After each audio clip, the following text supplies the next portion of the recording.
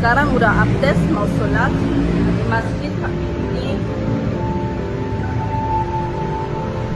orang nggak bilang apa-apa pun Seorang wanita yang menggunakan tank top ditolak masuk masjid untuk menunaikan salat. Video pengakuannya tersebut viral di media sosial.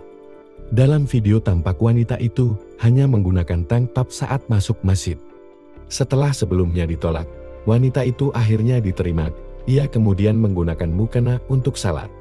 Video tersebut dibagikan di akun @chantl Unggahan ini menuai reaksi masyarakat dengan berbagai pro dan kontra atas eksperimen. sekarang pakai baju kayak gini sekarang saya mau sholat masjid pakai baju kayak gini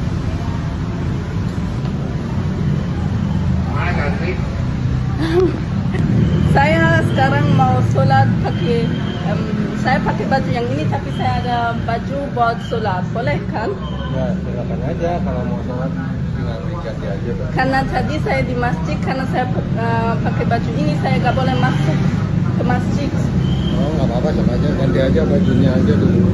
Iya, gak apa-apa kan? Ganti aja bajunya. Sekarang udah abdes mau sholat di masjid ini. Orang nggak bilang apa-apa pun.